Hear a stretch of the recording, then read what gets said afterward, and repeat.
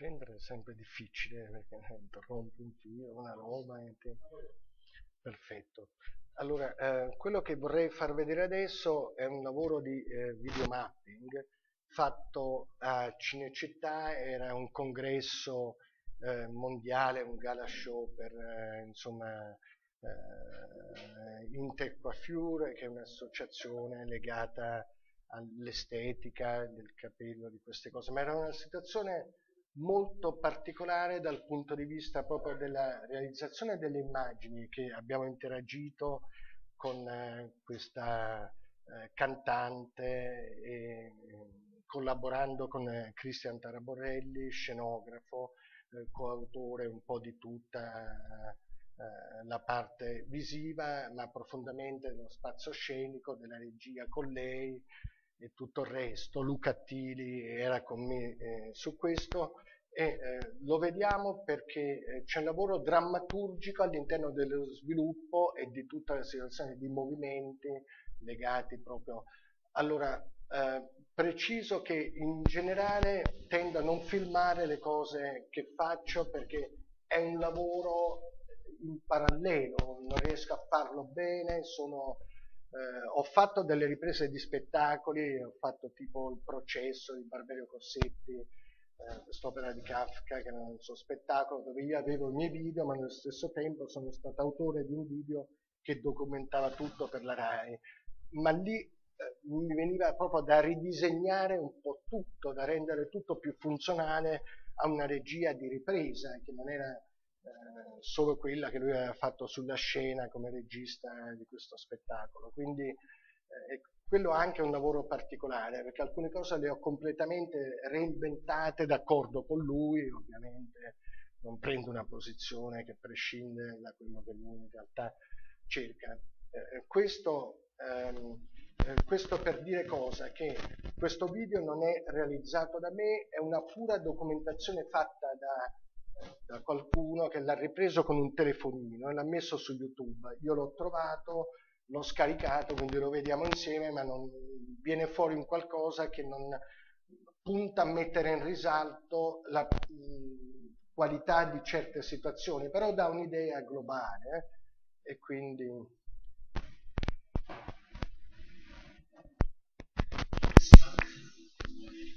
l'inizio diciamo, del mapping appoggia su un linguaggio un po' obbligato. Se non vedi queste cose, se non crolla qualcosa, se non ci sono degli effetti, sembra che non si stia parlando di mapping. Quindi era un po' una richiesta a monte, non per degradare, per dire che però ehm, forse lì si vede meno, abbasso un po' la luce sposto forse quella rispetto al muro perché un notturno, si vede, eh? allora, se vuoi la oriento, perché io rispetto alla qualità di certe cose se non le colgo posso metterla così, no?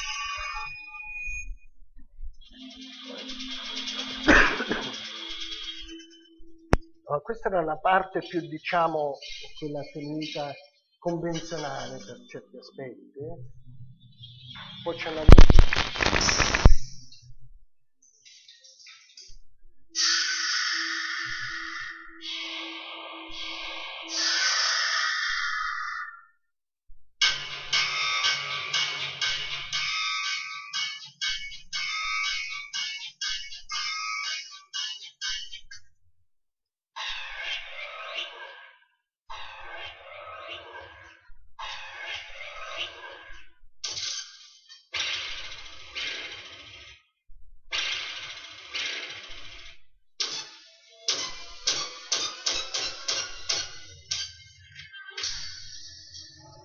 fin qui ci siamo, nulla di spettacolare.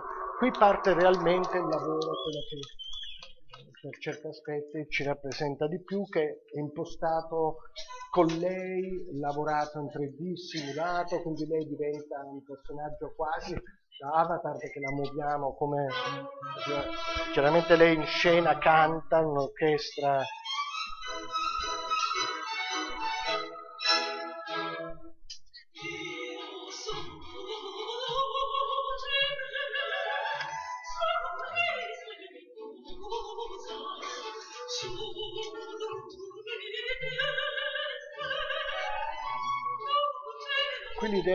cambiare la facciata e farla diventare quasi un chiostro, una specie di balcone dove lei correva idealmente sopra le teste dei commensali, in quel caso era una cena che è stata all'aperto, bellissima, con questo momento di...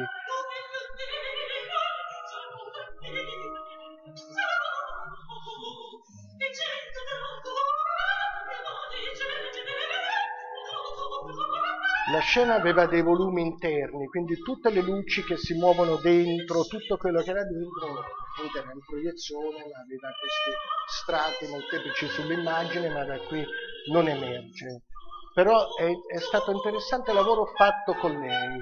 Poi diciamo anche questo discorso delle, dei fiori che cadono, che si addensano, questo romanticismo un po' visionario, in questo modo è, è un qualcosa che ho sempre un po' portato avanti, che mi ha rappresentato per molti anni, lo facevo un Barbero Cossetti, parlo di 20 anni fa, 25 anni fa, abbiamo fatto già le prime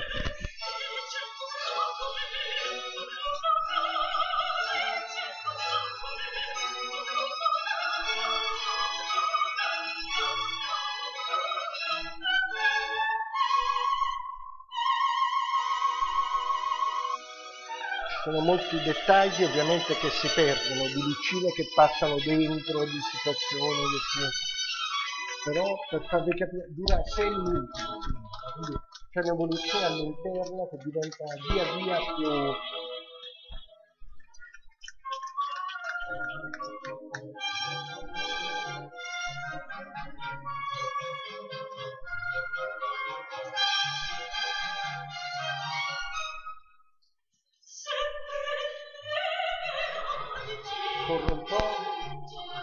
alcune cose diciamo la proiezione non rende giustizia, quindi diventa ovviamente questo carillon. E poi vengono su tutte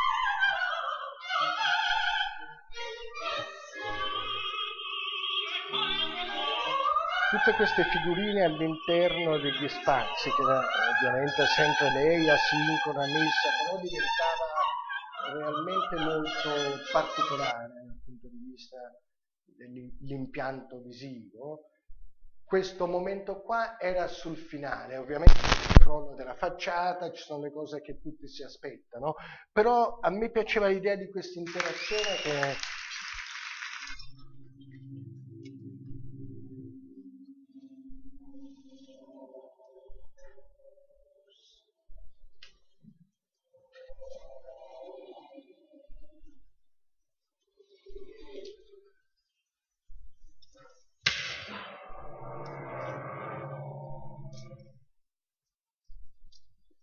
cambiava un po' registro tutto perché automaticamente insomma eh, tento di andare oltre vabbè. Lo spazio era questo qui. Tutto ricostruito in 3D tutto studiato anche tutte le animazioni fatte in scala poi riproposte eh, lì con eh, insomma i vari mezzi. Un'altra cosa che forse prima ho omesso di dire è spesso, perché come è successo qui, insomma, eh, noi eh, parlando dei videoproiettori e della videoproiezione, può succedere nel nostro percorso che ci viene proposto di utilizzare due videoproiettori eh, a cascata, cioè l'uno sull'altro co che collimano a formare un'immagine precisa.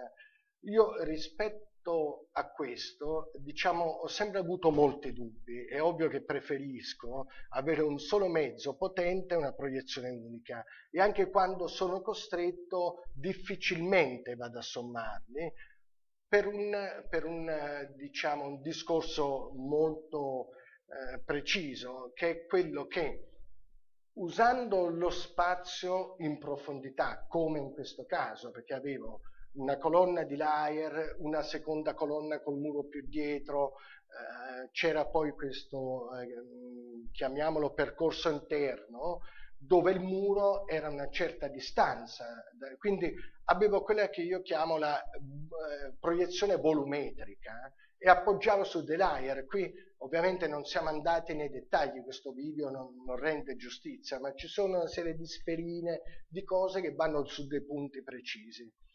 Sempre con il discorso della polarizzazione dell'immagine, le due lenti non rispettano lo stesso asse, quindi normalmente riescono a collimare se la superficie è piana, quindi c'è uno schermo, ma nel momento in cui la superficie ha dei piani differenti, è ovvio che se tu lo fai collimare su un punto, non collima sull'altro, cioè hai questa, anche se eh, alla fine ottimizzandolo riesci ad avere un grado di accettabilità, c'è molto tempo da spenderci per questa ottimizzazione tecnica. E poi io personalmente vedo sempre questo disturbo, quindi non riesco a passarci su, questa è un'altra secondo me delle regole che uno può mettere eh, e può valutare, poi decide di, di così, eh, farlo in un modo o come... Eh, questo è birdwatching.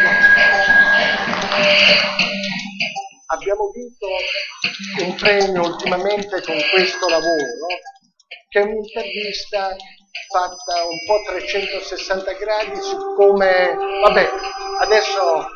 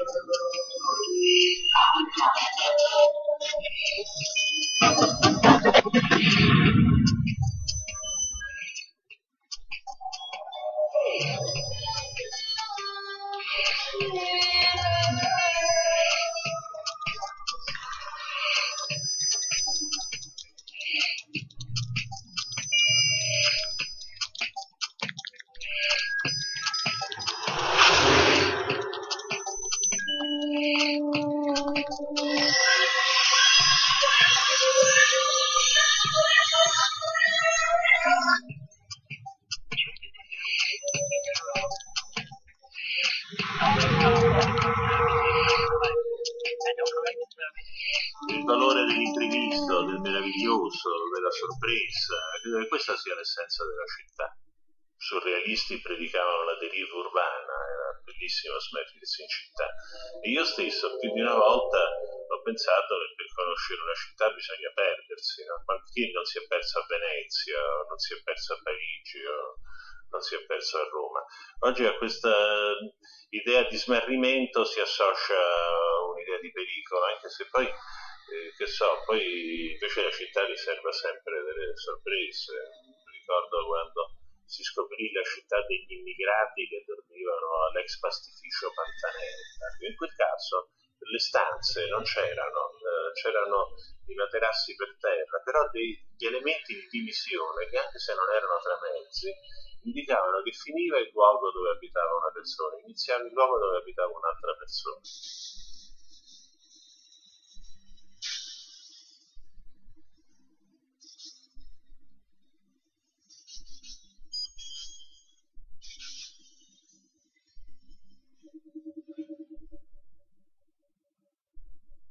Non credo francamente che le nuove tecniche digitali eh, contribuiranno molto a cambiare l'immagine delle città.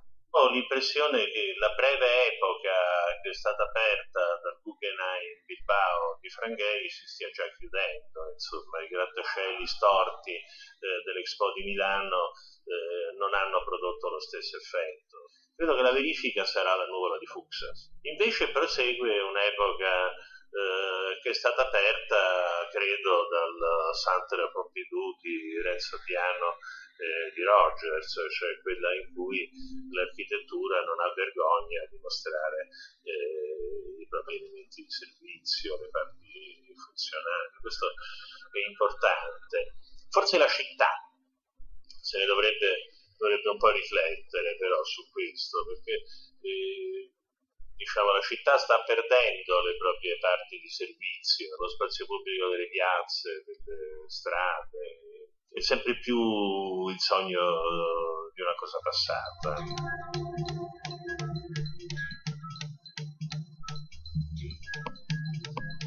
Dicono in parere modo adesso vengono ed è stato fatto un lavoro sull'immagine accostata alle personalità in oggetto, quindi tutta la costruzione del visivo non è messa dentro semplicemente per costruire un prodotto, ma ha uno stile, ha qualcosa che va a collimare con eh, tutto quello che è stato pensato sullo storyboard, realizzato, messo su, con una costruzione... La velocità massima che è consentita nella città deve essere quella eh, del trasporto pubblico. Se il trasporto pubblico è organizzato bene ci si sposta velocemente.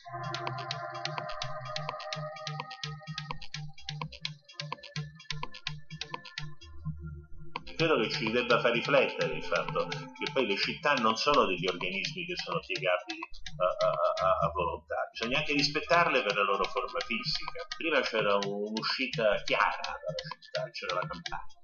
Oggi come facciamo a dire che la città finisce? Proviamo ad andare da Rimini eh, a Pescara e non ci accorgiamo mai di uscire o di entrare in una città. La, la, la, c'è anche chi piace questo, eh? ci sono anche i teorici eh, della bellezza di questi terrain vague, chiamano, la chiamano metropoli, no, non è metropoli per la verità, è perdita dell'effetto città e, de, e di fronte alla metropoli certo dobbiamo eh, tenere presente il fatto che la realtà della metropoli piuttosto, eh, sono piuttosto i suburbi americani no, che non i disegni di Sant'Elia.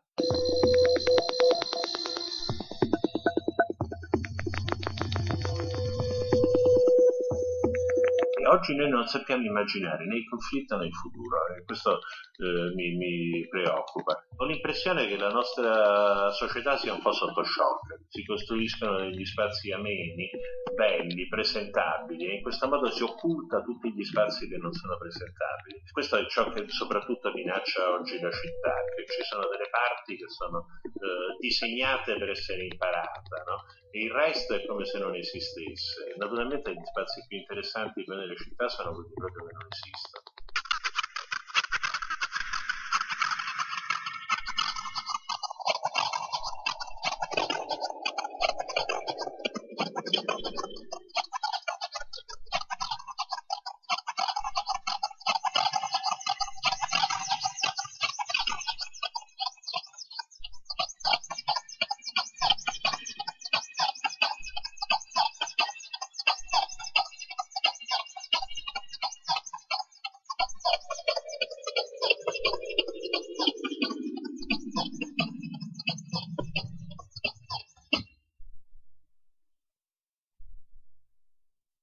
Sistema percettivo eh, di noi contemporanei, dell'oggi, di noi ascoltatori dell'oggi, è fortemente cambiato.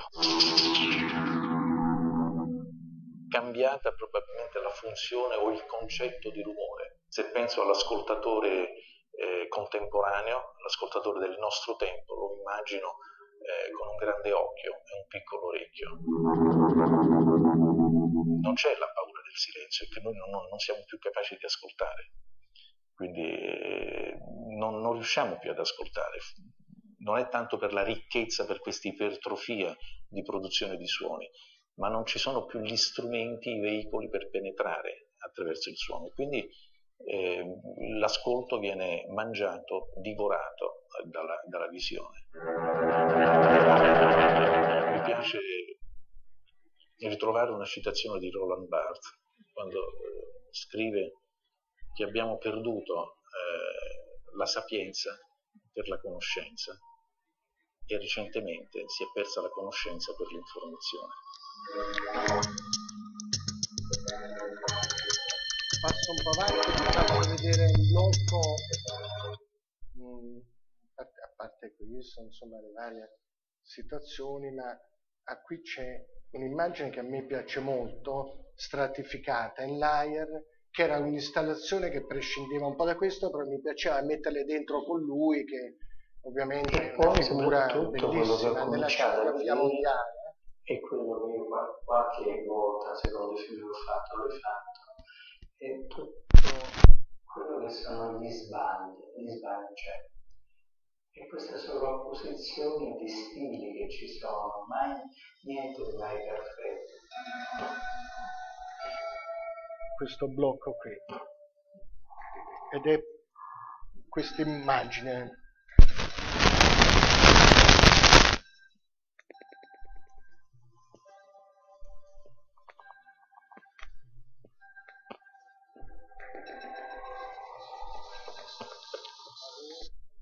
c'è tagliato a lei anche persona straordinaria che è Angela Barcamente che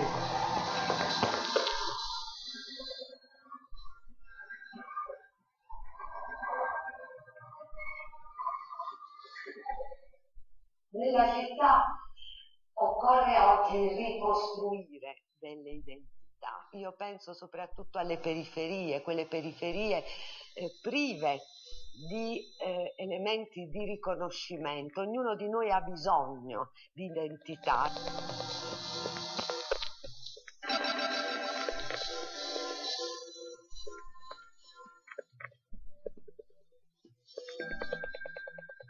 L'architetto e l'urbanista hanno eh, smarrito eh, quella capacità di eh, immergersi no? nei contesti di vita delle nostre città e di cogliere il senso. Non, non parliamo di, eh, come dire, di città astratte, non parliamo di città eh, di pietra, dobbiamo parlare di città vive. Questa è la città. Il progetto d'architettura non è un'opera d'arte, no? che si guarda, si contempla. Il progetto di architettura è qualcosa che si vive. E quindi sempre il progetto d'architettura dà delle risposte impertinenti all'idea del progettista. Nel momento in cui è usata ed è usata... Vado un po' avanti in velocità perché eh, tutto ciò per portare anche a Enzo Mari per fare una chiusa fondamentale rispetto anche a qualcosa che insomma adesso è un po' in parallelo a tutto quello che stiamo dicendo. Su di lui la costruzione è ancora, faccio vedere un po' il tipo di immagini, che ognuno poi ha una sua...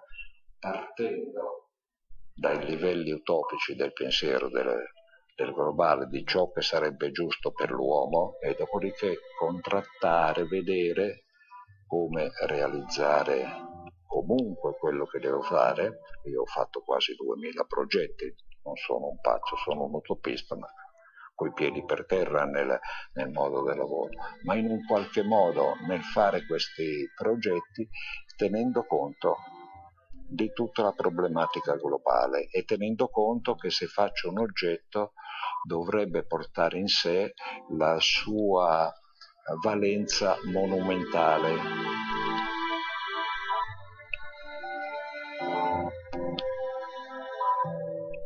Quando noi guardiamo i grandi capolavori dell'antichità, eh, la società è completamente cambiata, quei ruoli sociali dice delle cose bellissime. Vado per l'immagine su, per velocità, se no eh, sempre girato qui. Eh. Quindi c'è un composite di immagini, ma eh, lascio questo blocco, mi avvicino al finale per avere un po' la sua chiusa, che è una chiusa bellissima di tutto il lavoro, rispetto a quello che dice. Bari, eccetera, prevalentemente vedo dai cyborg.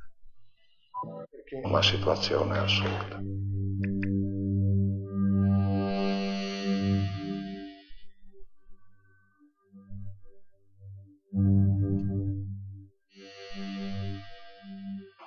Prima di costruire le fabbrichette e le case per dormire, prima vanno oh, realizzati gli edifici degli dei quando poi le persone incominciano ad abitare, le case, l'abitazione, cioè tutto il microclima delle cose, troverebbero il luogo dove avvengono i rituali, i dialoghi collettivi. Negli ultimi 200 anni si è molto parlato laddove la città si estendeva, delle cosiddette città o quartieri satelliti e si è cominciato subito a costruire abitazioni. Il luogo è sempre rimasto il vecchio luogo antico e queste cose sono sempre rimaste dei ghetti con forme di degrado sociale costose. È vero che costruire tutto prima costerebbe di più che non dare case a delle persone. Nell'immediato sì, ma nei tempi medi, per non parlare dei tempi lunghi, costerebbe meno perché le persone vivrebbero meglio, vivrebbero in un luogo dove esiste il cuore del loro luogo e non in un dormitorio.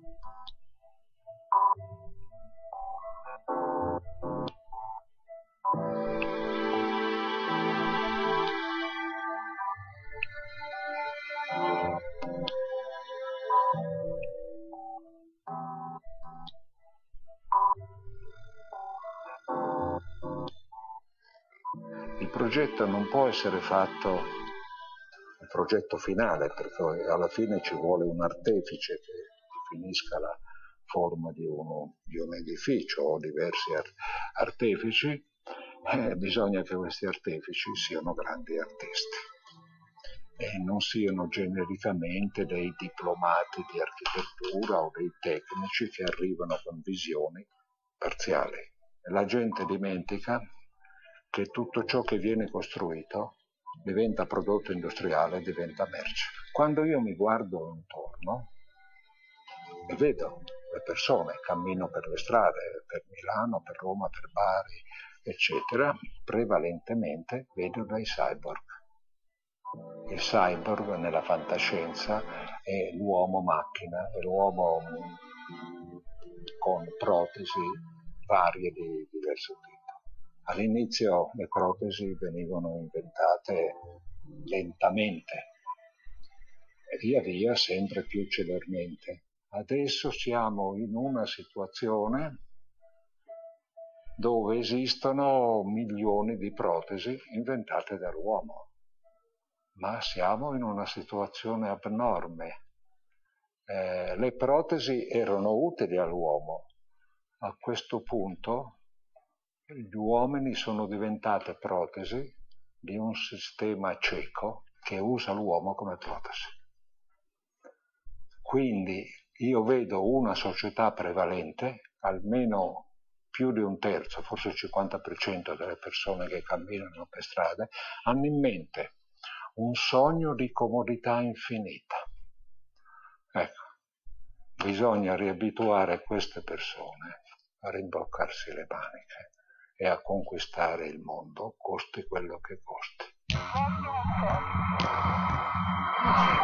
Sinceramente, voglio dire, non è che sia, però ti fa riflettere. Siamo veramente circondati da protesi, da possibilità di situazione, però eh, inseguiamo questo sogno di comodità infinita, no? anche sotto il profilo produttivo delle cose che facciamo. Invece quando uno realmente forse ci si applica in una maniera più così eh, particolare, i risultati sono più... Potrei andare avanti, ma non so se è il caso di fare una rassegna personale di, di altre cose ancora a seguire, perché poi tra l'altro anche il watching si può vedere in rete, non utilizzerei questo tempo se non per cose particolari, quindi non so se ci sono Birdwatching, sì, è rete come altre cose. Noi abbiamo un canale YouTube, ma non lo alimentiamo molto, perché in realtà anche lì per farlo servirebbe una costruzione precisa del tempo. Prima eh, anche il nostro sito, in realtà abbiamo due siti, abbiamo varie,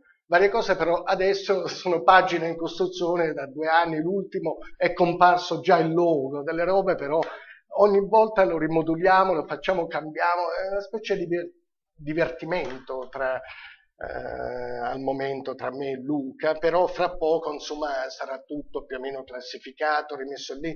Sai, è difficile mettere in prima linea un'immagine che ti rappresenta quando c'è una vastità di, di cose fatte, anche da quali non mi piace poi prendere da un passato, vorrei proiettarlo più in avanti, ma allo stesso tempo eh, non lo so, eh, sono dei momenti, anche questa cosa insomma passa attraverso dei filtri che non sono minimamente, calcolabili e adesso è così. Però abbiamo un canale YouTube, ovviamente anche su Facebook, eh, Iaconettili Studio è presente con una sua pagina dove ogni tanto pubblichiamo delle robe, ma lì è un discorso molto più user friendly, no? quello che facciamo apre un po' a un gioco, apre un po' a situazioni variopinte, le nostre fotine ricordo, delle cose che hanno una, una ovviamente come tutti quelli che usano Facebook, che così tendono a un sociale un po' più eh, differente rispetto a avere un sito istituzionale e proporsi diversamente. Eh, che dire, non so se eh, domande o cose giusto per... Ok. Avevo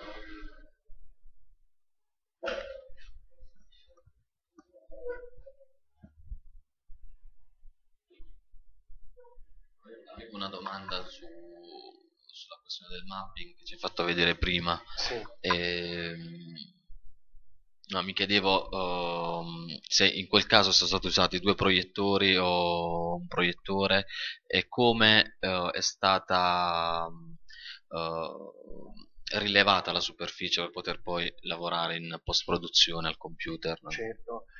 Allora, diciamo che eh, noi abbiamo chiesto eh, ovviamente dei sopralluoghi, sono state acquisite delle documentazioni, quindi sono state fatte dei, eh, fatti dei rilievi sia con dei mezzi un po' eh, così eh, particolari in grado di prendere la superficie delle foto che poi dovevano rispondere esattamente al punto dove eh, sarebbe stato, come è avvenuto, collocato il videoproiettore, quindi è stato ricostruito virtualmente l'oggetto facciata e abbiamo lavorato con una proiezione e poi tutto messo in pianta con l'integrazione su musica, eh, era tutto un po' ovviamente calcolato a monte. C'erano due videoproiettori, due videoproiettori potenti, loro mi suggerivano insomma l'accensione, io personalmente eh, l'ho tenuto come backup di riserva perché la situazione era particolare, non potevamo rischiare che l'immagine c'è stato qualche momento interno del pubblico eh, prima, poi queste cose succedono sempre un minuto prima della messa in onda, no? dove che ne so, lo stand by le cose un attimo di panico, però poi tutto bene. E devo dire che era in seconda macchina come preparazione perché spesso è richiesto, è richiesto esattamente che ehm, ci sia proprio un backup che in caso di problemi entra subito e puoi avere uno scarto di un fotogramma nero, puoi avere qualcosa, però hai continuità del, del, dell'evento, perché in alcuni casi, sai, sarebbe imbarazzante, poi appoggiamo sulla tecnologia, appoggiamo su una situazione particolare, se c'è un toppo di mezzo crolla il castello, non so come dire quindi è sempre stata una cosa imbarazzante. Per me, eh, quando c'è un errore di questo tipo, eh, è sempre, non so, qualcosa che eh, ovviamente per noi tutti immagino, mortificante, ma poi principalmente eh, perché tu ti rapporti a un mezzo che ritieni perfetto, no? quindi eh, va su una linearità legata all'informatica dove un'informazione passa per quello che è, viene tradotta da un sistema. Quindi il fatto che ci sia un arresto, sì, può succedere, può succedere, la macchina si ferma, però non è gratificante, cioè il sistema non, non, purtroppo ti chiede la perfezione che poi ha dentro eh, questa, con la propria qualità. Io eh, diciamo che eh, in generale ehm, sì, a volte rischio, nel senso che per budget c'è una sola macchina, siamo eh, così, eh, lavoriamo con un sistema che se va in tilt, va in tilt. Io una circostanza importantissima, guarda, eh, adesso non, non, dico la sede e non dico nemmeno gli autori coinvolti, c'era una figura istituzionale ai vertici che doveva arrivare, insomma tutta una roba in eh, Ehm, così eclatante, eh, questa prima, e ehm, noi avevamo lavorato fino alla mattina su un sistema che era da un certo punto nello spazio eh, e tutto il sistema scendeva giù in uno di questi palchetti, eh, dal palco reale scendeva giù in un altro uh, palco così, che stava lì vicino, con il sistema di regia. L'arrivo di questa figura politica così importante ovviamente ha creato un po' una, una, una, come dire, una configurazione diversa della nostra regia con tutto il resto. No? Quindi ci siamo dovuti spostare per cedere spazio alle persone che gli stavano dietro. Abbiamo allungato il service, che comunque è un ottimo service, allungato un cavo di molti metri a distanza. Quindi tutta la gestione di questa cosa qui non era più eh, lì sotto, lì vicino dove abbiamo fatto le prove, ma si era spostata quasi in proscenio rispetto al punto di proiezione. Questo a me, sai, il giorno della prima queste cose non si fanno. Io oltre che segnalarlo non potevo fare nulla, lì c'erano situazioni che un po' erano al di sopra di quello che io potevo controllare, però comunque, voglio dire, io l'ho eh, fatto presente, le persone non è che hanno ostacolato questa logica, era, non si poteva fare altrimenti, quindi io devo avvalorare il percorso. Cosa succede? Ho chiesto una prova del pomeriggio per varie cose, perché poi, sai, lì la struttura non è che tu vuoi fare una cosa e tutto è pronto, tutti aspettano te. Ci sono orari, situazioni per le prove, la gente non c'è, l'elettricità manca, devi far convergere una serie di competenze in un momento preciso, va messo in un programma. Quindi non ho potuto verificare il sistema. Ho acceso lì, ho acceso là, ho visto che la luce arrivava, tutto bene, era tutto illuminato e quindi non mi sono tranquillizzato, però ho detto va bene. Dopodiché, a ridosso, mm, diciamo, la prima poteva essere intorno alle otto e mezza di, di, di sera, intorno alle sei, dove era possibile fare una prova, abbiamo acceso tutte le macchine e le immagini erano completamente distorte, c'era qualcosa che non andava, cioè tutto quello che avevamo fatto non, non tornava al registro il mapping, era, cioè erano diventate incontrollabili, tutti in panico. Io che tento lì di tenere la calma, perché sai, è importantissimo, eh? non posso andare in tilt, in realtà dentro è ovvio che eh, non, non potete immaginarlo, però realmente doveva assumere un controllo preciso della situazione, mentre questo ragazzo che mi seguiva la console loro del service ovviamente tentavano di risolvere il problema in tutti i modi, passava il tempo, un quarto d'ora, 20 minuti e io sudavo freddo perché eh, la prima era imminente, lo spettacolo era completamente basato sulle immagini, erano parte eh, voglio dire, integrante, ma nello stesso tempo si interagiva, tolte le immagini, si svuotava, diventavano degli involucri belli, ma non avevano più, diciamo, l'interazione prevista, non è che i video erano importanti, erano stati pensati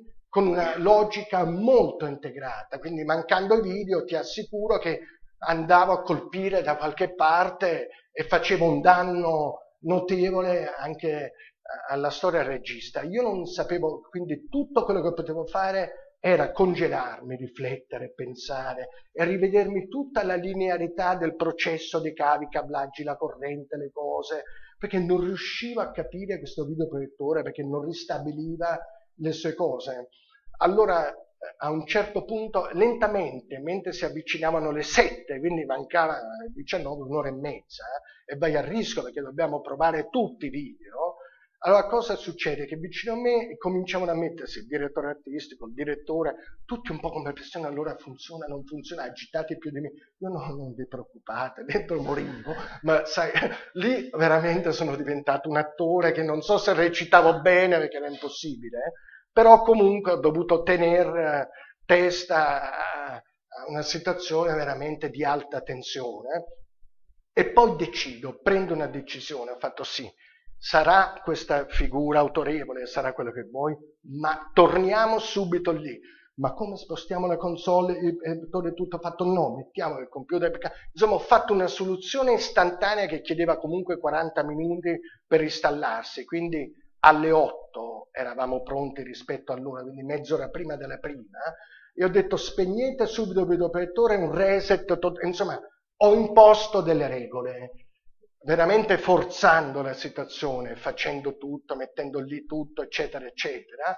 Abbiamo rimesso tutto lì, praticamente ho detto ho rischiato la grande, non so quello che faccio, tutto lì ero fermo, dico l'accensione, ok, confido in un miracolo, confido in un miracolo, acceso un altro problema, non quello di prima, eh, c'era un altro problema.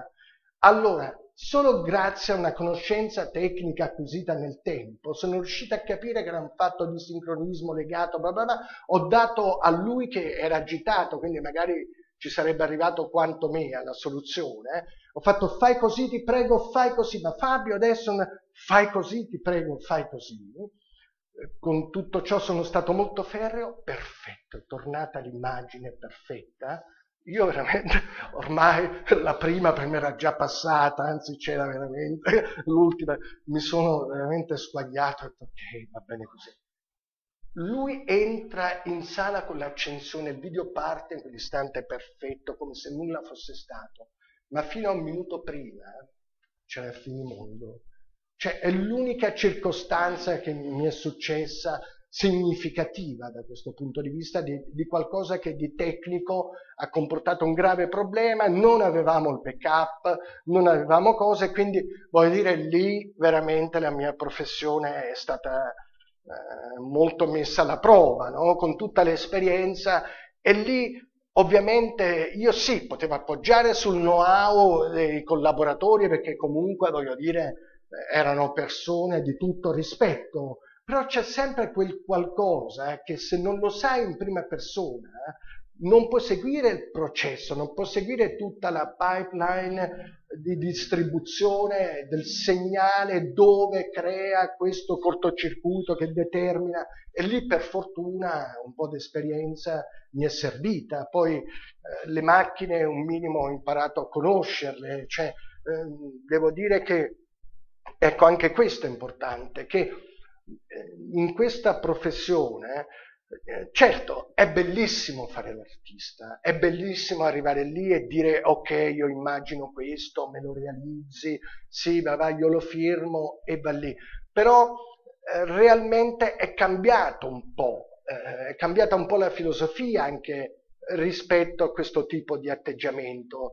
Eh, attualmente mh, mm, diciamo che tranne quando c'è uno spirito di collaborazione con altri autori dove si condivide un progetto, magari c'è chi pensa a fare, eh, che ne so, modellazione, uno pensa alla fluidodinamica, l'altro può occuparsi, perché sono dei ruoli molto precisi, chiaramente, non è che uno che fa 3D assume tutte le competenze in una maniera così ehm, perfezionata, no?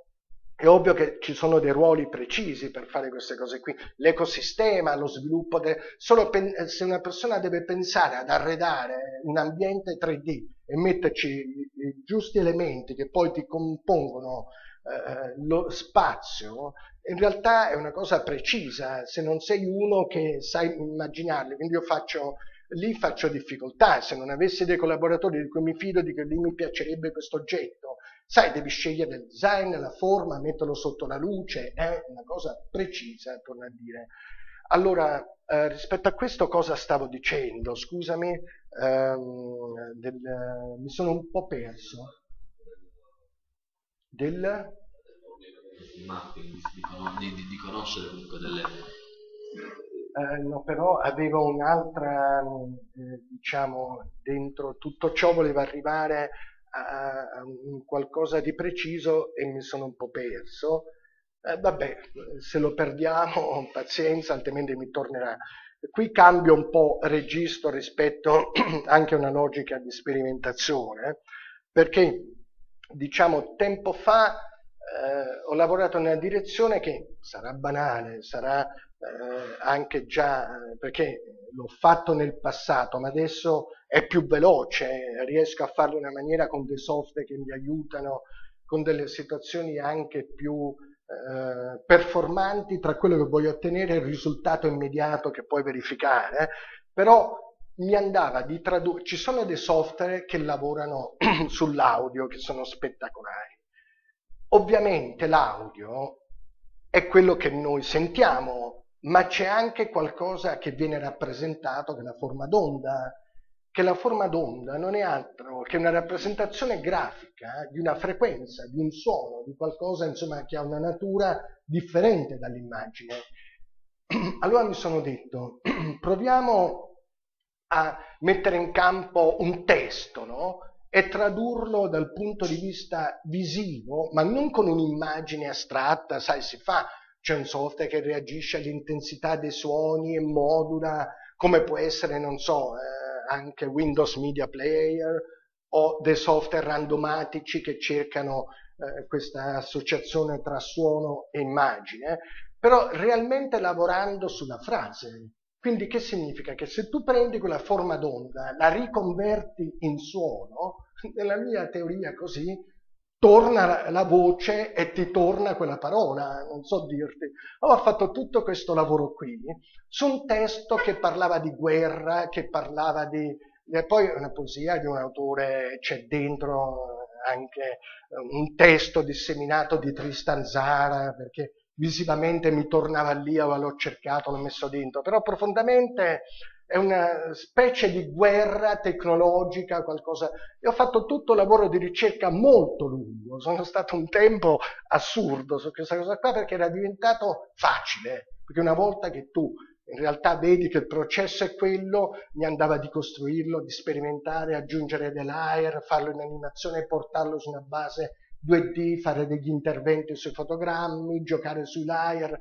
Io vi faccio vedere il primo livello, cioè la base primordiale di questo lavoro che è diciamo in editing, ma quando avrò, perché è una cosa molto personale, anche non so se visivamente non l'ho mai fatto vedere, però ritengo anche questo che è un testo che racconta una cosa molto forte dentro, poi c'è, ripeto, questo blocco legato a Tristanzara, c'è tutto un finale, però adesso lo faccio vedere come immagine pura legata a se stesso, ma è interessante come questo testo, andando avanti, ovviamente ho regalato un po' il tono di come veniva letto, gli ho dato delle pause, l'ho un po' gestito, non è che metti lì e ti si configura questa cosa qua, però realmente poi mi passava tutto il processo fino alla fine, ha un inizio, una fine, ha un epilogo interno legato al fatto che la persona leggeva in maniera più concitata perché l'azione dentro si configurava più dinamica. Quindi devo dire che è stato qualcosa che ancora non ho mai usato in una maniera eh, precisa, però esiste, cioè ce l'ho come alfabeto possibile di, di, ed è questo eh, video che faccio vedere adesso con il suono che è fatto su che era un po'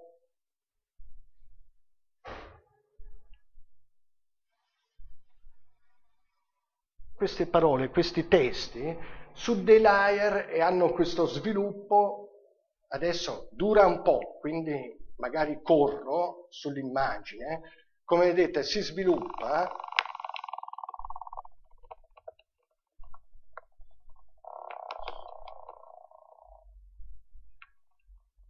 e compone delle figure bellissime. Se uno le isola se io ti blocco i fotogrammi alcuni sono composti da quell'interlacciato che parlavo prima. Sul frame A c'è un'immagine sul frame B un'altra. E nell'accelerazione genera un mondo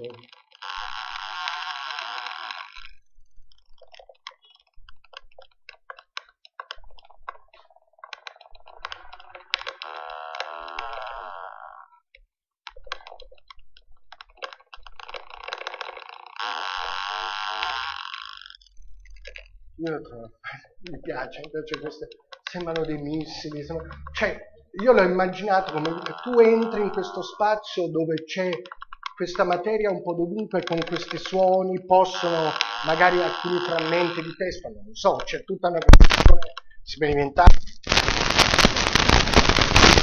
è ancora in corso d'opera, però io trovo interessante, poi in realtà con l'incalzare, col fatto che la voce diventava più profonda, c'era un'alterazione che io facevo non più sull'immagine, ma l'andava a fare sulla frequenza del suono, con dei generatori che si chiamano architecture, che sono delle forme d'onda anche, che ognuna di queste forme d'onda, a secondo di come tu gli fai arrivare l'impulso e quello che gli arriva, sei in grado un po' di posizionare un'immagine che va in una certa direzione anziché un'altra, perché sono dei filtri rispetto a un input di qualche tipo. E quindi, allora ti faccio vedere, perché da...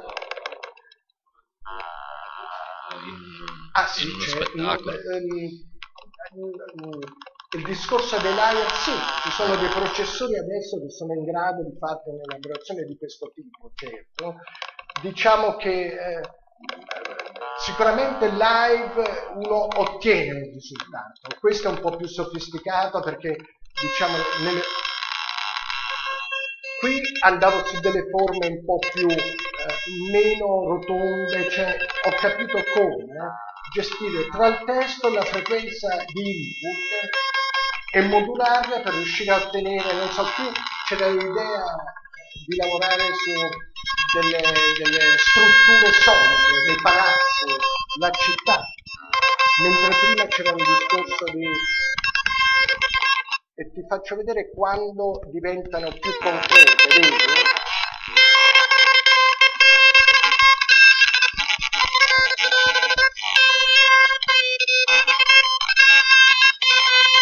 Ovviamente è un lavoro difficile dal punto di vista della fruizione, non so se ci sono molte persone che sono interessate a un'immagine. Andando sempre avanti nella costruzione,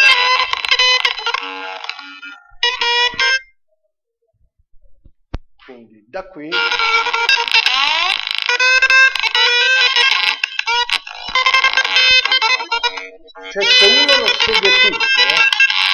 c'è questa metamorfosi delle linee, delle forme, capisci che c'è qualche continuità, c'è qualcosa che sta andando avanti.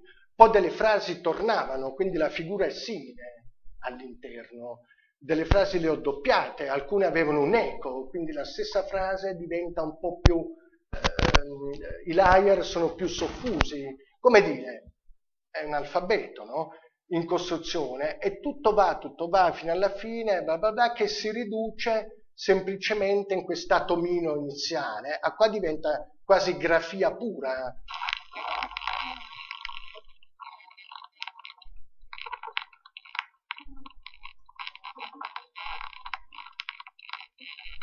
E via di seguito si riduce, diventa, eh, per dirti anche quando uno tenta di prendere un elemento astratto, partire da altre forme per generare eh, certe immagini. Io ho sempre fatto un po' eh, questo tipo nel, nel mio passato. Eh, diciamo che eh, la, la, l'aspetto del suono, no? della forma d'onda, di queste cose qui rappresentata come immagine oppure utilizzata come eh, sempre stato un po' al, dentro quello che ho ricercato. Io ho sempre dato molto valore al suono nelle mie cose, anche come viene collocato, l'ascolto che uno ha, ho i miei riferimenti in termini di mezzi da usare, la qualità, chiedo certi diffusori anziché eh, altre casse acustiche, insomma è importante, un elemento che ai fini della percezione, ai fini di tutto, va considerato quanto le immagini stesse, se il suono in quel caso va messo in risalto in un certo modo. No?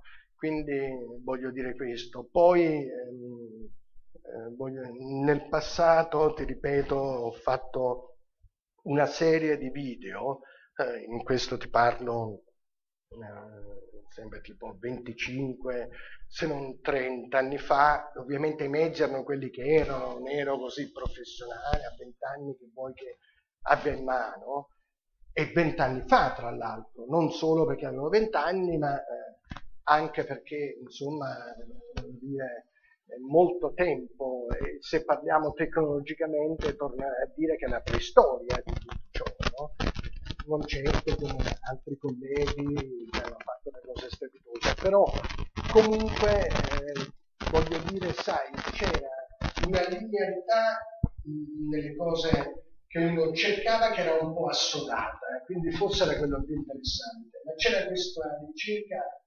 parallela che era ultra stimolante e, e lì avevo eh, sviluppato una serie di video che si chiama Verve, che è un momento poetico, è un po' eh, così come può essere lo spleen, che ne so, un momento preciso conto, e avevano tutti un tema particolare. In realtà c'era Verve sul ritmo che aveva un impianto simile, era molto ritmico, ma era generato con delle frequenze che questo contatto era, generato, era posizionato su un, un, un, un altoparlante eh, che eh, rilascia delle frequenze basse che non sono eh, quasi udibili, però c'è una reazione fisica proprio del corpo a questa frequenza, oltre che la senti, lo stomaco vibra, boom, boom, boom, ti senti scuotere, ma se tu metti lì un oggetto, l'oggetto ha una vibrazione e questa vibrazione, se tu la consideri giocando sulla frequenza all'epoca, questi erano i mezzi per ottenere delle cose, avevo messo questi cavi con un microfono, mettevo dei sensori, mettevo delle robe e in realtà questo verbo sul ritmo era costruito su queste frequenze un po' come questo, però in una maniera, chiamiamola analogica, rispetto adesso che è molto più semplice, che basta una scheda MIDI, basta un sistema che te lo permette, il risultato, voglio dire, può essere live quasi, ma ci sono dei software che te lo fanno. No? Eh, prima hai citato Resolume. Resolume è uno che può reagire a una situazione di questo tipo. Eh, ci sono molti software che eh, traducono un input audio. Eh, molto tempo fa con eh, un coreografo eh, un collega molto così in gamba, ehm, abbiamo fatto un'installazione in un castello. lui aveva questi multispazi, una cosa molto bella, un progetto eh, straordinario. Io nel mio piccolo ristretto ambito avevo messo su delle cose un po' parallele, poi le ho riprese dopo, le ho sviluppate, sono diventate un'interazione con delle immagini che sono un po' lo stadio primordiale al zoo, quello che abbiamo visto stamattina, però la cosa divertente è che l'interazione era data da il rumore reale che veniva eh, messo dentro e processato dal computer, ma era semplicemente un microfono di quelli, perché all'epoca sensori, robe varie, Arduino, francamente non erano così eh, alla mano o diffusi o esistevano. Adesso non sto lì eh, a tornare dietro per capire, ma sicuramente non, non c'erano in computer, quindi, eh, però eh, diciamo che i primi apparecchi con delle cose software, eccetera, io avevo questo microfono che aveva attaccato semplicemente sotto una sedia. Quindi reagiva fisicamente a qualcosa di concreto. Tu ti appoggi e il microfono coglie il suono del tuo appoggio. Poi sei fermo e non succede nulla. Ti muovi, ovvero muovi un attributo del corpo medio, tra l'altro il basso, sulla sedia e lì scopri che succede questa interazione. Quindi era divertentissimo vedere che lo spettatore muoveva quell'attributo sulla sedia per ottenere un certo risultato che non voglio dire al momento qui perché insomma non è il caso. Però questa interazione che succedeva, vi assicuro che era divertentissima, ma non tanto perché questo scatenava quello, perché vedevi che la persona si agitava, capiva il gioco dopo un po', ma era tenuta con una facilità estrema, cioè l'impulso del segnale faceva scorrere semplicemente la lupa avanti e indietro, non era una roba esoterica, Parliamo di interazione, di sensori e di robe varie.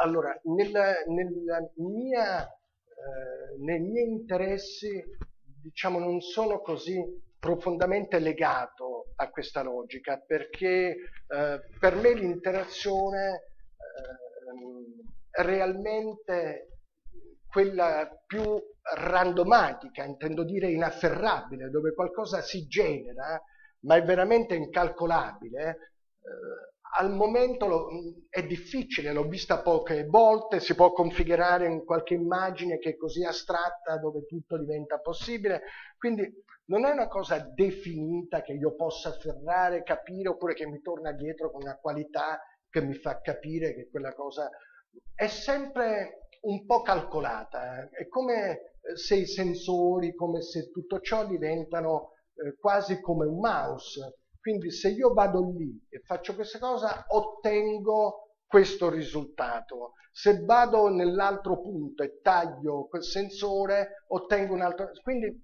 lo trovo un po' come una pagina eh, legata a internet, no? dove tu vai nella pagina, se clicchi, non so, fotografia, accedi alla galleria delle foto, anziché biografia e ti viene fuori il PDF della tua vita.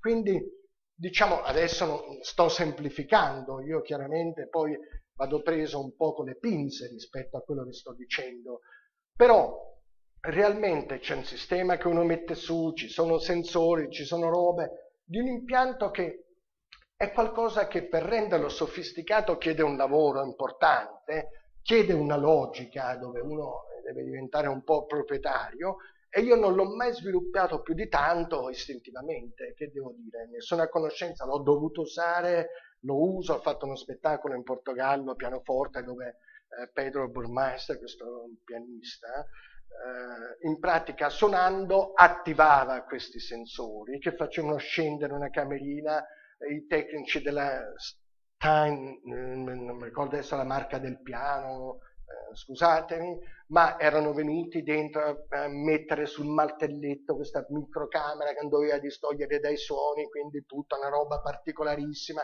Quindi in realtà lui suonava, ma visivamente c'era un universo di immagine eh, che nello stesso tempo aveva la forza creativa della sua esecuzione, perché lui in diretta lo scatenava. No? E lì io ho dovuto appoggiare su situazioni di questo tipo per dirti l'esempio più rappresentativo, però nelle altre cose è sempre stato... E poi diciamo eh, che tutto ciò io un minimo eh, in maniera divertente eh, l'ho un po' eh, rimessa in gioco, ho fatto degli esperimenti con un software che si chiama ehm, eh, quello di stamattina, eh, il software No, quello è tutt'altro. Però in pratica è un software molto semplice che forse l'uso eh, mi dispiacerebbe non dire il nome perché può essere un'indicazione, ma scusatemi, nella mia memoria purtroppo eh, molte informazioni non... Però per dirla in parole povere, continuando un po' il discorso, è un software semplicemente che eh, inquadra una certa zona, una certa superficie, fa un'inquadratura dello spazio. Ovviamente io l'ho usato con una telecamera in verticale on stage, quindi prendendo il palcoscenico. E nell'immobilità tutte le associazioni sono immobili, chiaramente, no? non c'è un evento che le possa scatenare, come dei sensori che devono catturare per forza un movimento.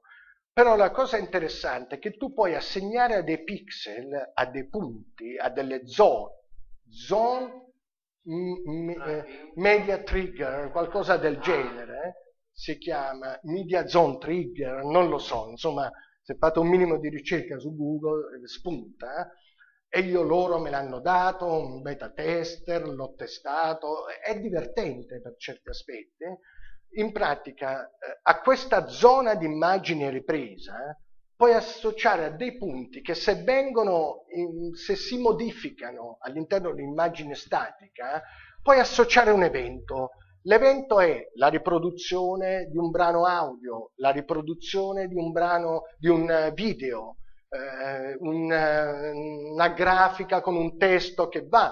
E quindi se uno dissemina di situazioni, tutto il palcoscenico e i punti, realmente può creare un discorso, un linguaggio, lo spostamento vai su un punto, la traiettoria, lì viene chi, se lo studi lo fa interagire, il primo piano del video che guarda, spunta una parola, cioè diventa nella semplicità e nella sperimentazione quotidiana, un po' del fai da te, è divertente, è un software che ti permette in completa autonomia con una webcam da 10 euro e questa cosina di ottenere dei risultati che possono essere l'embrione di uno sviluppo più performante con dei mezzi sofisticati e con una situazione più eh, completa a seguito. No?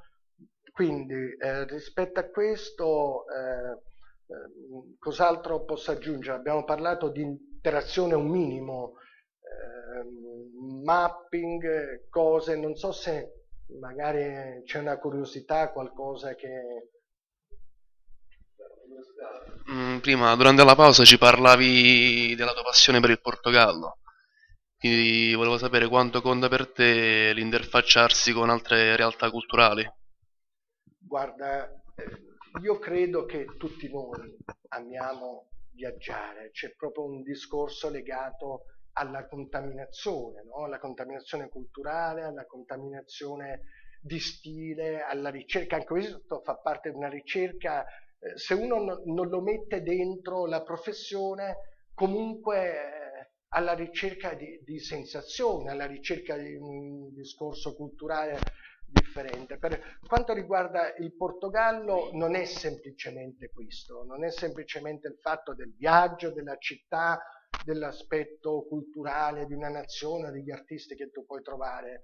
Lì è un innamoramento particolare, un innamoramento per eh, la cultura portoghese, questo grazie anche a degli amici e delle amiche che ho trovato sul posto che mi hanno un po' eh, su questo Ehm, come dire, ehm, alimentato, non, adesso non mi vengono propriamente i termini e quindi eh, accuso un po' di... Eh, però realmente eh, anche il confronto con degli autori, adesso io parto, parlo del Portogallo, ne potrei parlare per, veramente per, uh, a lungo, conosco i più grandi autori portoghesi, sia eh, i registi, cito uno per tutti, Riccardo Paese, che è un uomo di cultura, secondo me, così incommensurabile, una persona che io stimo tantissimo, con la quale collaboro da anni, il nuovo progetto che stiamo facendo lì sarà fatto con lui, ho collaborato con vari autori in Portogallo, da, eh,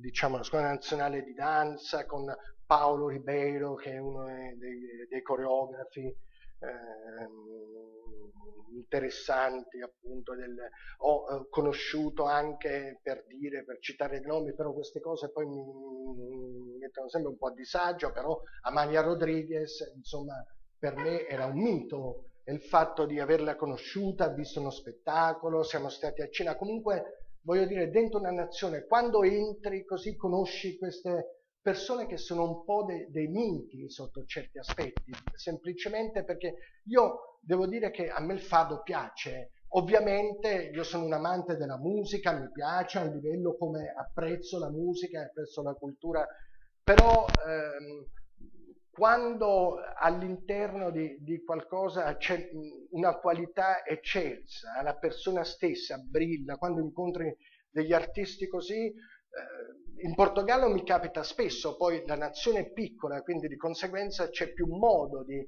relazionarti a, a degli autori, a degli artisti, a dei creativi e avere, sviluppare un rapporto più forte perché come dire, si è più condensati, questo può capitare meno in altre nazioni, però è sempre affascinante il rapporto con le collaborazioni eh, voglio dire, sia nazionali, perché io comunque resto e sono un nazionalista, però eh, profondamente le, ormai è una fusione, sai, eh, è una banalità dire che c'è una globalizzazione in atto, però è così. Io non è che mi rendo più conto che mi trovo in Portogallo anziché eh, di essere ad Amsterdam o Parigi, sì, cambia l'architettura, cambia qualcosa, le persone, sai, le lingue dopo un po' capisci che è così, cioè vanno vissute così. E devo dire che eh, profondamente con i vari autori, nelle varie eh, situazioni all'estero, ho sempre avuto qualcosa che mi ha arricchito in una maniera, perché è come se tu di colpo apri una porta e c'è un magnifico paesaggio. Quindi all'interno poi le collaborazioni che in generale ho, eh, ho fatto, che abbiamo fatto anche con Luca, perché tendo a sottolineare che sì, ho avuto un percorso molto ehm, eh, eh, sviluppato da me solo, da me, con degli assistenti in luogo, poi ho deciso di portare avanti qualcosa con lui e quindi condivido certe scelte, tutto perché eh, io, a me piace molto collaborare con delle persone, mi danno più lucidità, più chiarezza rispetto all'entusiasmo che posso avere io con me stesso da solo, come dire, sì, sono abbastanza lucido per capire se una cosa mi piace o non mi piace, però eh, comunque l'idea di, eh, non lo so, è così. Però eh, cosa stavo dicendo? All'estero, ehm, tutte le varie collaborazioni che ho fatto con altri autori era semplicemente per quest'idea di curiosità, è un po' l'idea di questa esplorazione che a me piace molto, no? eh, di tentare eh, di capire cosa può esserci dietro eh, una certa situazione, anche eh, da un punto di vista che eh, non sempre è considerato rispetto a quello che stai facendo. Intendo dire, eh, io adoro la danza, ma non sono un coreografo perché eh, non si può essere un coreografo se non hai quella preparazione, quell'idea, quella passione, quella propulsione, quella che ne so io, insomma questo vale un po' per tutti. Però il fatto di affiancarlo e in quel momento avere la sua visione, lavorare con dei performer, capire qual è il linguaggio del corpo, sentire da dentro, perché queste persone tu poi impari ad amarle in un certo modo artisticamente, quindi il suo mondo è un po' condiviso con il tuo, c'è uno scambio e questa cosa mi porta a vedere questa realtà col suo punto di vista quindi capisco dove sta andando, capisco cosa vuole raccontare e quando torno a costruire quello che vorrei costruire, perché tu parti comunque su un'idea, hai la sua influenza. È come se il linguaggio ti si arricchisce, ma la sua influenza viene capitalizzata nelle eh, relazioni che tu metti in atto dopo, no? Vuol dire, io collaboro con te che sei un coreografo e io come dire, assorbo da te, perché, voglio dire, succede questo istintivo, che imparo dalle situazioni, no? E poi ovvio che se eh, da un coreografo eh, torno a un regista che eh, su una situazione differente, vuoi di prosa, vuoi di un'opera lirica, vuoi di un concerto, quella materia continua a vivere e se io riesco a posizionarla da qualche parte ho capitalizzato quell'input. Quindi come dire, è un flusso, quindi eh, nel, in caso del Portogallo sì, c'è una nazione specifica e c'è un grande amore per la loro cultura, per il loro modo di fare, li apprezzo su molte situazioni, ma questa è una cosa personale che non entra molto dentro cioè entra abbastanza, però non è che in trincea metto questa come... Eh, diciamo, però in realtà le collaborazioni in senso globale che ho avuto sono state per me eh, importantissime.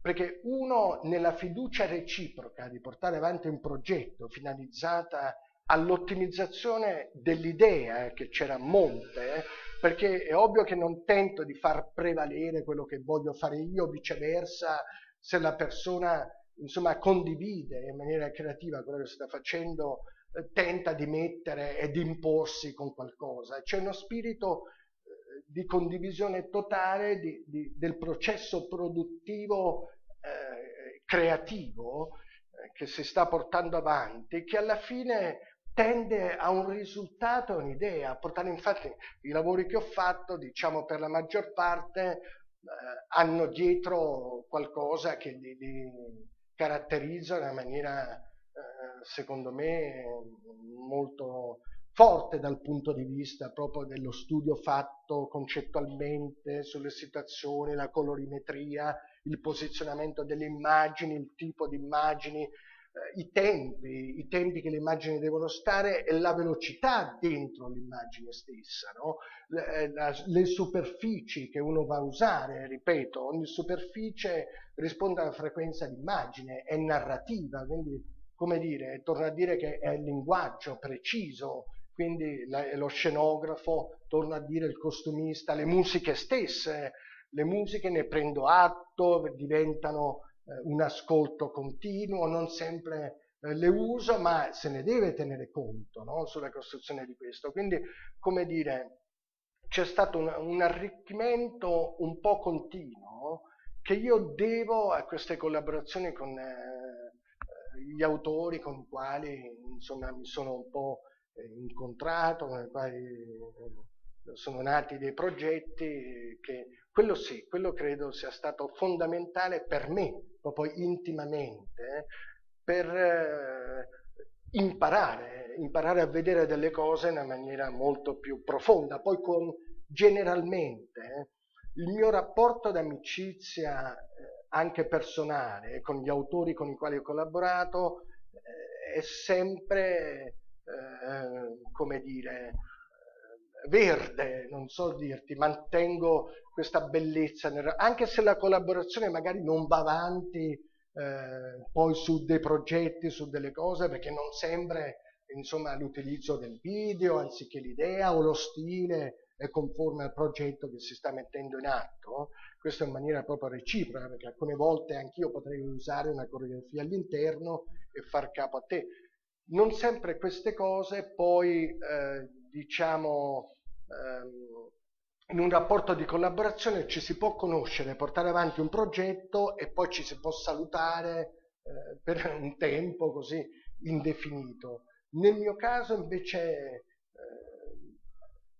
ho un rapporto con le persone, ma un rapporto concreto di amicizia, di stima, creativo, si parla di progetti, di cose, anche se poi non riguardano il nostro impegno diretto, però comunque c'è qualcosa che va avanti, che si capitalizza, che si riflette sulla professione e che è un grande valore aggiunto, perché una bella testa, una bella persona, un creativo che comunque tu senti epidemicamente che eh, ti puoi rilassare, ti puoi, non so, concedere in un certo modo è importante per me avere un confronto, vuol dire, certo le cose le prendi in giro, non serve che incontri, però sai, le affinità eh, sono anche questo, il fatto di incontrare una persona con la quale condividi un'idea, un progetto e così la capitalizzi, eh, fini di un risultato, è un po' anche questo un valore aggiunto, non so spiegarti.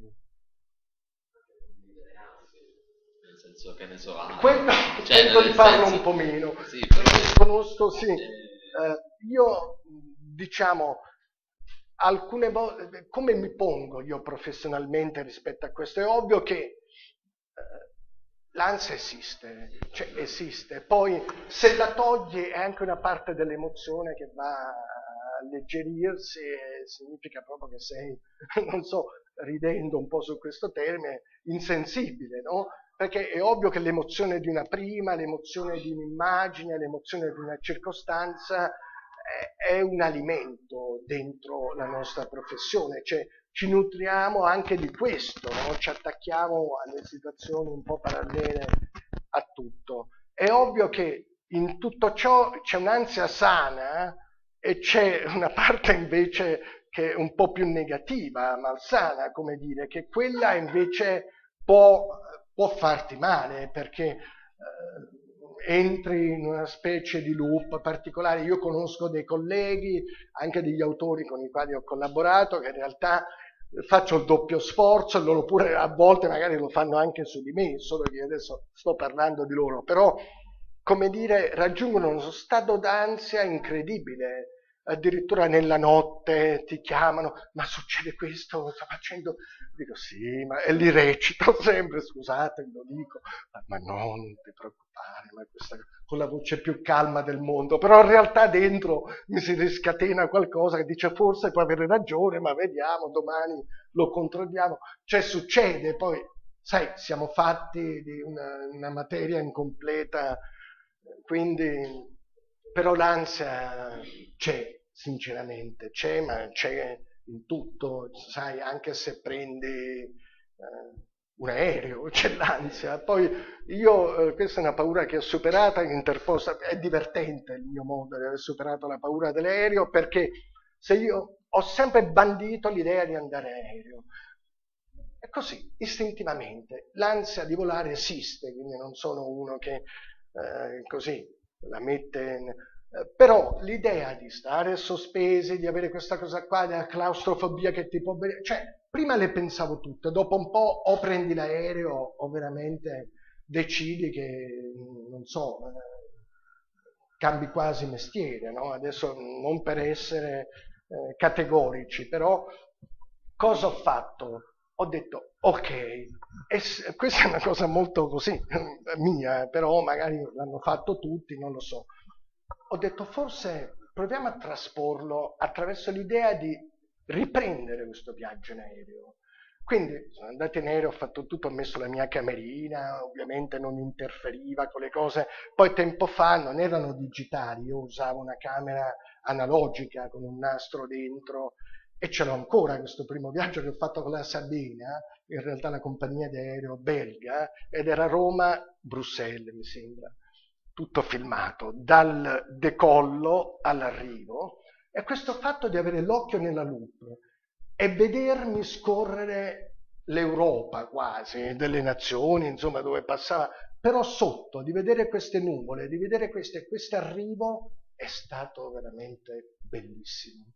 Perché ho superato il viaggio, non ho pensato mai di stare su un aereo, perché per me era immagine quel viaggio, quindi io lo stavo filmando, non sarebbe mai accaduto nulla di così esoterico e spaventoso, perché in realtà era un video, non so spiegarti, io lo vedevo nella lupa e filmavo il finestrino dentro l'aereo, quindi diventava realmente il viaggio. Sono arrivato a Bruxelles con la voglia di prendere un altro aereo quasi, in realtà il giorno dopo mi è tornata la famosa ansia, che in questo caso non è ansia, ansia scherzando con un amico gli ho dato un cognome famoso che è un metallo, però in realtà chiamiamola ansia e non asia, però um, in, eh, devo dire che i 20 giorni, i 25 giorni di questo lavoro sul posto, l'ansia cresceva l'idea di riprendere l'aereo, non era sufficiente guardare il loop, perché lì ormai il gioco era scoperto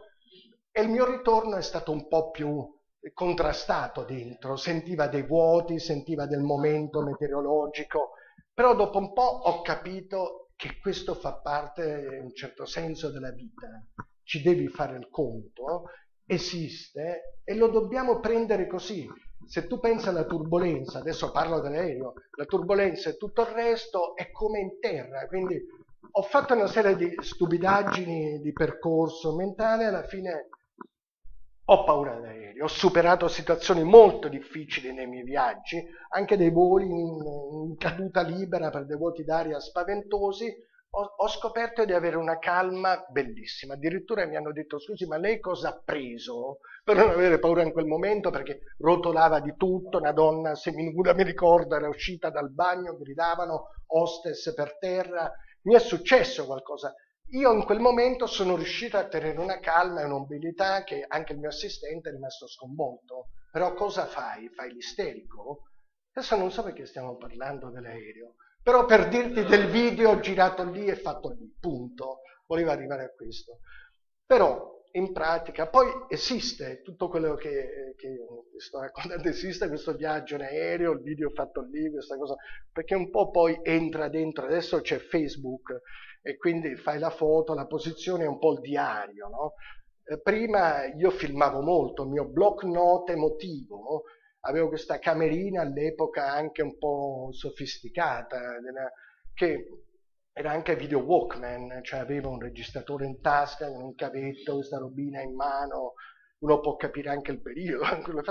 e questa cosa la usavo spesso, documentavo situazioni, cose, montaggio. Sai, eri nel, nel, nella situazione anche, tra virgolette, giovane, di cominciare a vedere con la tua passione stava eh, ehm, cominciando qualcosa che diventava la tua vita, la tua professione, no? Quindi dal fatto di raccoglierlo, tu, che la realtà diventava un po' più perché eh, poi questo è anche il pericolo, che lavorando sulle immagini all'epoca, vivendo spesso nei teatri, facendo eh, spostamenti eh, anche abbastanza complessi, è come se tutto quello che da una parte è reale rischi un po' di tenerlo eh, a distanza, se sei giovane come all'epoca eh, ero e le situazioni che incontravo, no?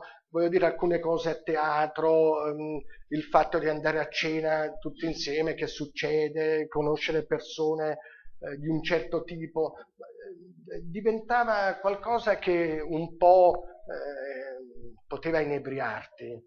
E anche dal punto di vista di avere questa camerina faceva parte di quella cosa lì, quindi documentare certe cose, quella realtà, e quindi ho anche molto materiale dietro con situazioni eh, di questo tipo. Però eh, la cosa che ricordo sempre è l'ansia prima della prima, ma anche se lo spettacolo non è mio, mi capita, ma c'è un amico eh, che mette in scena, partecipo un po'. È una cosa bella, ti ripeto, vissuta in maniera positiva. Cyborg, come diceva.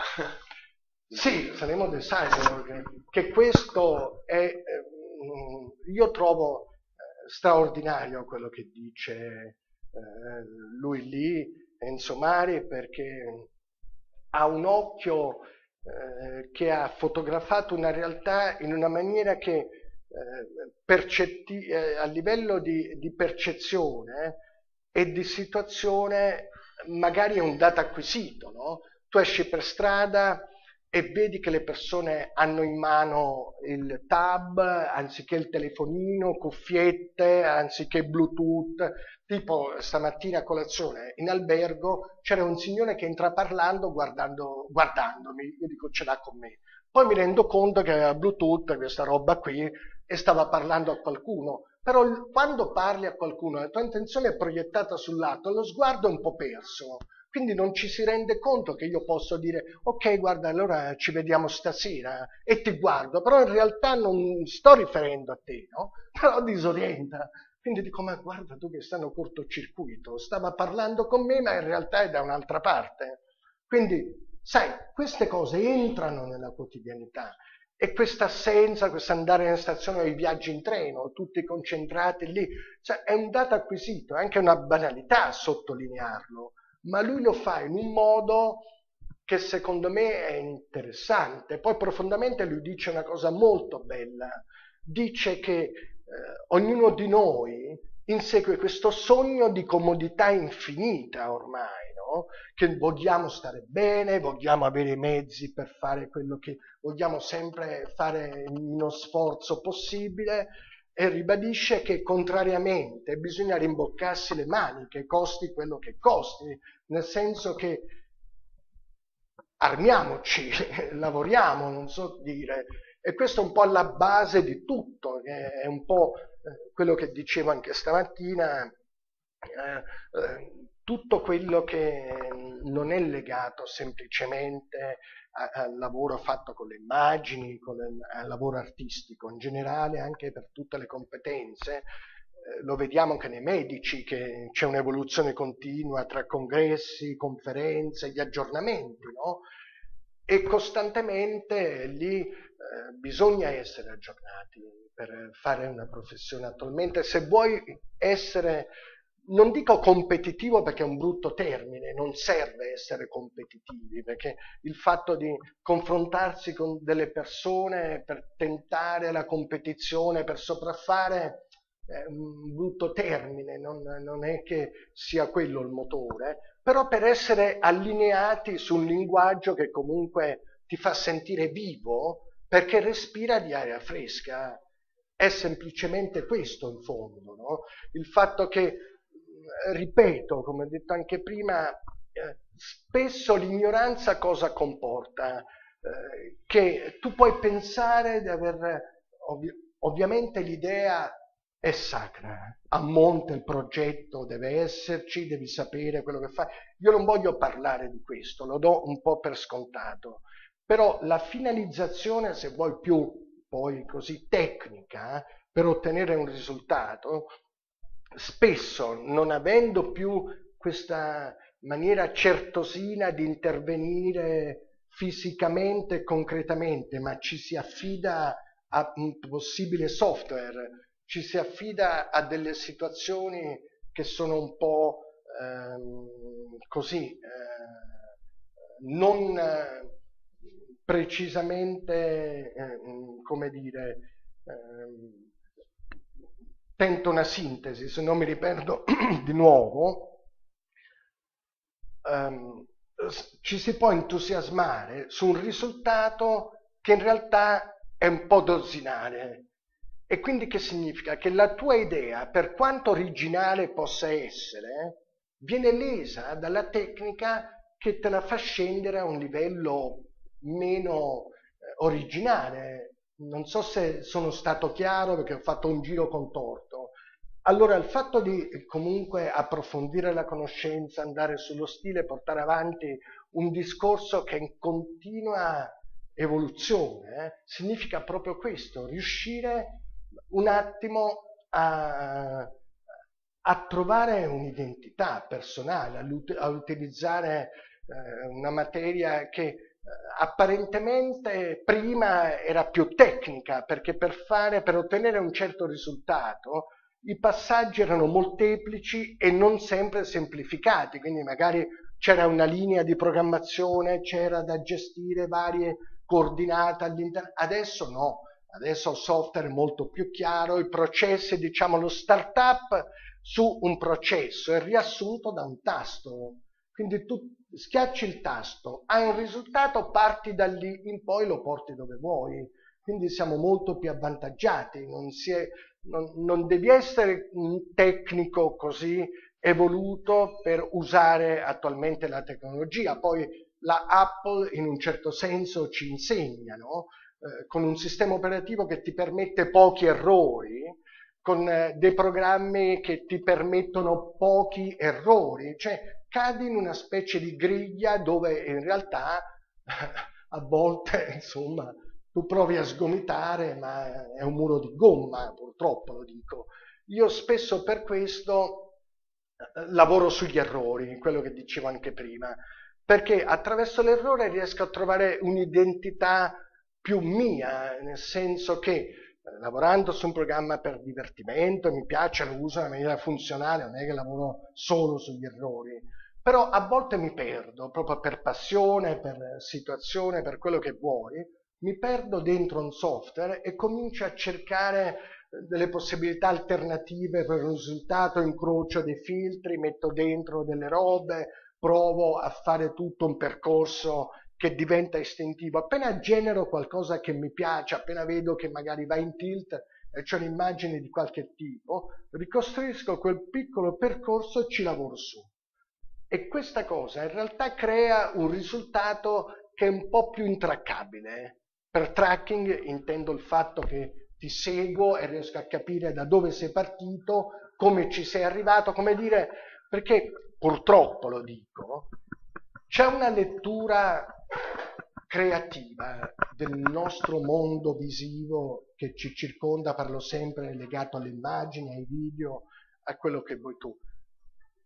Ma un esperto, un occhio più esperto, anche una visione eh, che può traccare il tuo grado di qualità all'interno del software che usi, eh, se hanno una complessità particolare, se stai appoggiando su delle demo, se stai appoggiando su dei plugin di un certo tipo, che grado di di eh, diciamo, mh, consapevolezza hai messo tu, de- cioè ti do una misura, parlandoci chiaramente, no? un occhio molto attento, riesce non solo a darti un valore artistico, che quello è fondamentale, ripeto, la base di quello che si fa, però purtroppo esiste un feedback che ti dà anche questa valutazione che può essere, eh, secondo me, sono delle deviazioni, no? come quando vedi qualcosa e lo vedi firmato con un certo nome e gli dai un valore all'abbigliamento che è sbagliatissimo, cioè non si fa. Quella è una deviazione professionale. quel eh, prodotto il risultato di questo con questo, con questo ha usato questo. Quindi in realtà se fa parte di un discorso molto complesso all'interno della vita dell'autore, sai, ti passa inosservato, non è che sei lì a tirare le somme, però se fa parte di un entusiasmo di qualcosa, capisci se, non so, che grado di evoluzione può avere, perché adesso si lavora molto in maniera, molto in maniera eh, meno collaborativa, no? Per, anche per necessità, si tende a stare sulla macchina e portare avanti una roba da solo, quindi c'è un'evoluzione continua e personale. E in questo caso si può ricostruire un percorso così. Bene, io non so, ho esaurito un po' quello che, eh, non gli argomenti, perché ovviamente, però, a parte il tempo, e poi comunque, insomma, mi sembra di aver detto un po' di varie cose. Se non ci sono domande tenderei a salutare, a ringraziarvi veramente per questa occasione che per me è stata molto interessante, tra l'altro anche riuscire a, a, a rimettere in gioco tutto questo eh, mondo che, eh, e quindi grazie, grazie per questa possibilità.